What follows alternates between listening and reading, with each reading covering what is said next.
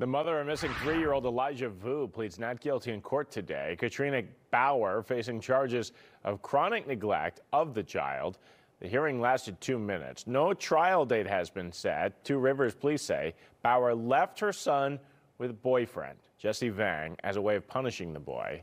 Investigators say they have gathered texts and photos between the two showing the physical abuse and neglect of Elijah. Rewards in the search for the boy is combined now at $40,000.